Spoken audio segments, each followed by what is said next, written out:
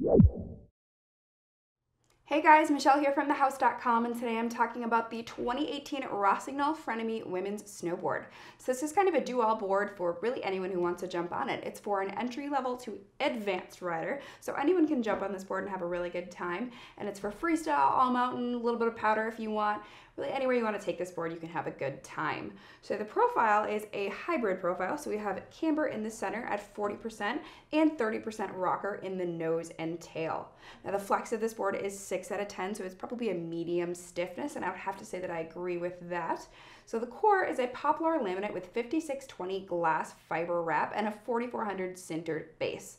Now the shape of this board is a directional twin with a one centimeter stance setback, so that's gonna help a little bit if you do choose to take the board in powder.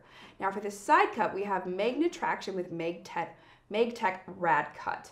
So what that means is it's gonna have really, really good edge hold, really, really good grip. And with that rad cut, you're gonna have kind of a side cut with some reverse side cut. So there's almost, if you turn the board on edge, almost kind of wavy edges it looks like, and that's gonna give you really clean turns and really good edge hold.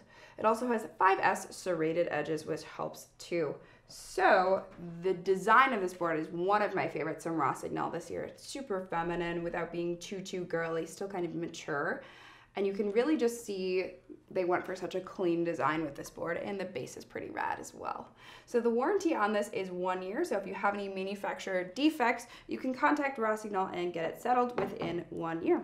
So you can find the 2018 Rossignol Frenemy Winneman snowboard at thehouse.com.